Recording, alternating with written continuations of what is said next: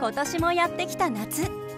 夏本番を迎え本格的なレジャーシーズンとなり外で楽しむ人も多いんじゃないでしょうか。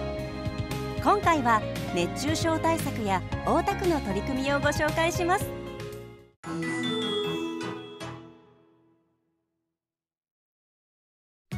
今年も猛暑が続いていますね。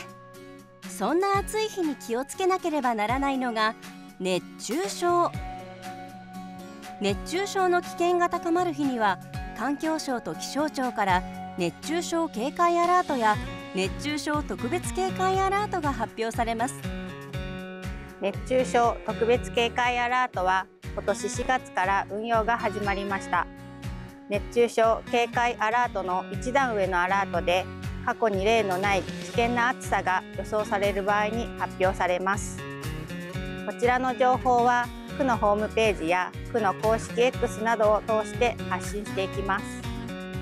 発表があった時には不要不急の外出は控え熱中症を発症しやすい高齢者や子どもに注意を呼びかけましょう。その他熱中症から身を守るための予防法をご紹介します。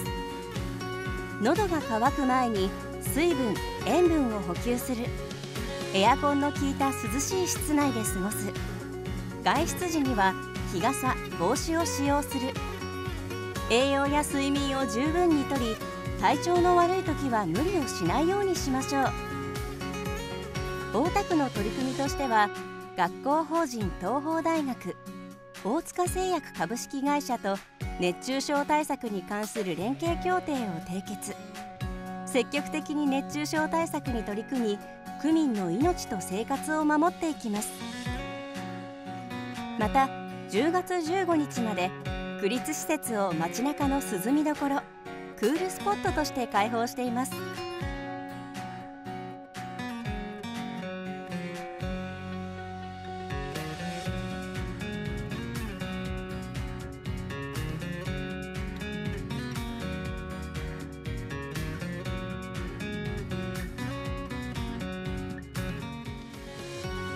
毎日の健康管理と熱中症対策を万全にして夏を楽しみましょう。